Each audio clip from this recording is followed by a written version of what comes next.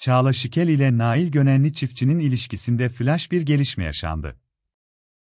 Bir süredir birlikte olan çiftin aileleri tanıştı.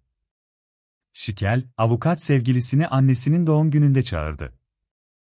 İki çocuğu Uzay ile Kuzey'in babası Emre Altuğ'dan sonra hayatını kimseye almayan Altuğ, annesinin doğum gününde sevgilisini tanıştırarak, evlilikte ciddi olduklarını gösterdi.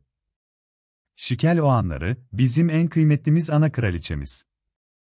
Sen ne güzel doğdun yeniden hayatımıza. Çok güzelsin sen annem. Ve iyi ki bizim annemizsin.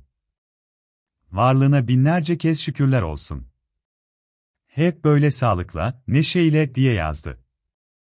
Haberimiz bu kadar. Magazin içeriklerinin devamının gelmesini istiyorsanız lütfen videoyu beğenip kanala abone olmayı unutmayın. Hoşçakalın.